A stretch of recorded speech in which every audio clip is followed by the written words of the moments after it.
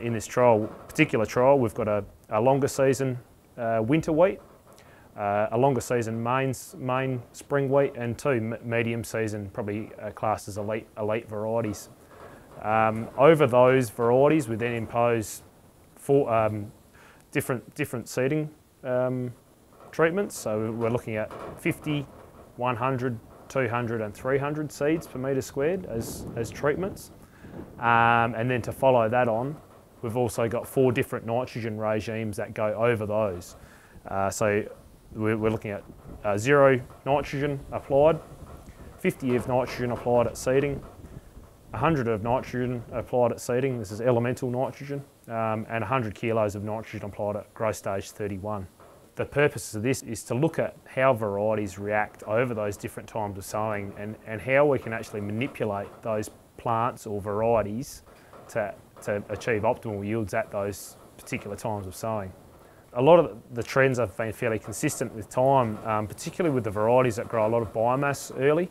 Um, we've found consistently that these, those particular varieties respond heavily to the later nitrogen applications and we feel that it's, it's primarily due to the, the plant growing all that um, non-productive biomass early in the season and not, not having enough um, water to fill the grain later on.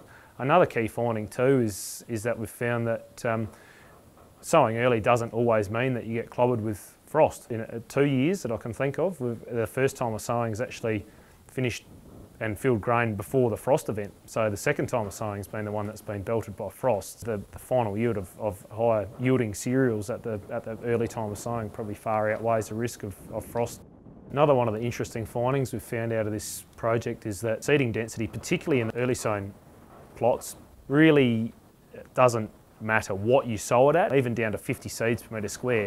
From our work, we've actually found that uh, 50 seeds per metre squared or around about 20 kilos to the hectare of, of wheat is more than adequate to meet 100% um, of your yield potential.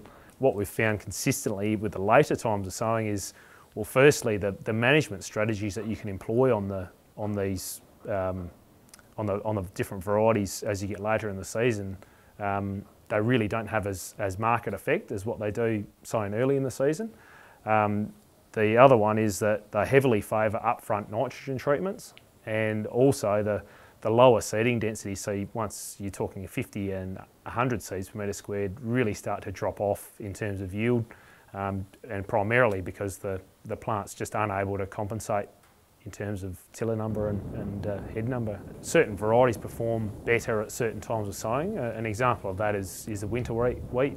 Sown early, uh, fantastic performer. Um, not commonly utilised in paddocks, but really does yield exceptionally well at those early times of seeding.